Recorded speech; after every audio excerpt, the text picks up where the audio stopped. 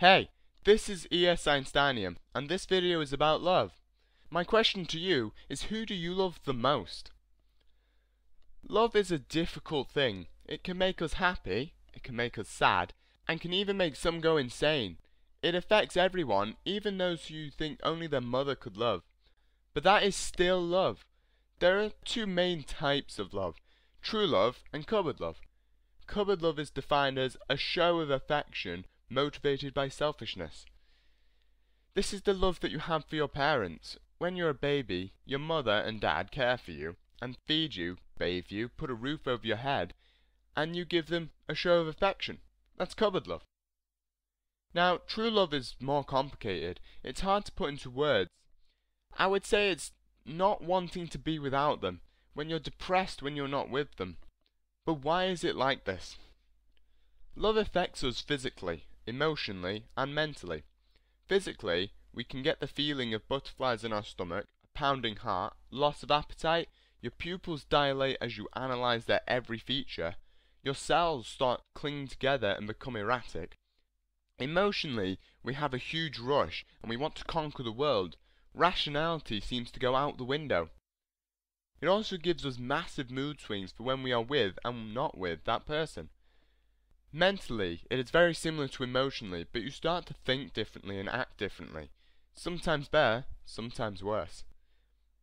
But why does our body betray us when we need to look cool? A study at Syracuse University found that it takes only a fifth of a second for you to fall in love, and it is science that does this for you. On seeing that person, your brain goes through a euphoric high, and well, your brain goes into love mode, which looks a lot like a mental illness. Don't believe me? It's true. I mean, what sane person keeps the ticket stub from their first date, or checks their phone every minute for that text? Yeah.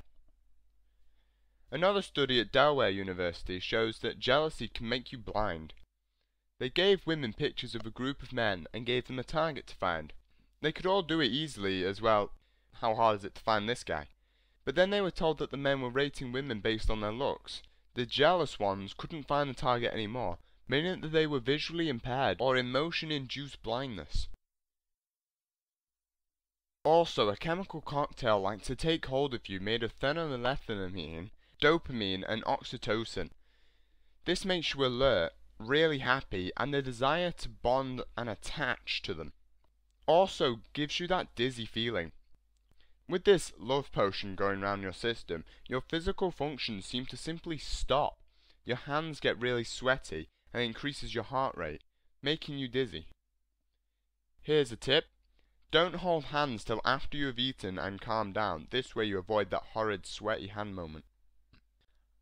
I find that the eyes are the key. Your eyes affect how your brain works. For example, direct eye contact means you're more likely to remember someone, even if you are four months old, whereas if you just look at their features, it will have the other effect. Also, looking into someone's eyes for a long period of time stimulates oxytocin. Remember that from before? The love cocktail? So by simple tricks, you can stimulate love in another person by locking eyes. Except it relies on them at least liking you in the beginning.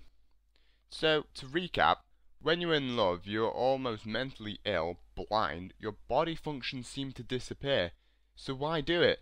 Is love worth it? Well, it can boost your immune system, as why would your body want to make the person you love ill? It can make you physically fit as your partner is motivation. It can make you live longer as there is less stress in a healthy relationship. It can clear up skin as stress is low, stress-induced acne is also low. It improves your heart as all that extra exercise from making you dizzy, it can reduce pain as being in love changes your perception of pain, but when you're in pain while holding hands with your partner, it changes it again so you feel even less. That sounds worth it. Living longer and happier in exchange for true love? Worth it. So, this is the eccentric scientist. That is love. Leave a comment about who you love. Hit like if you enjoyed the video. Subscribe so you don't miss next video. Bye!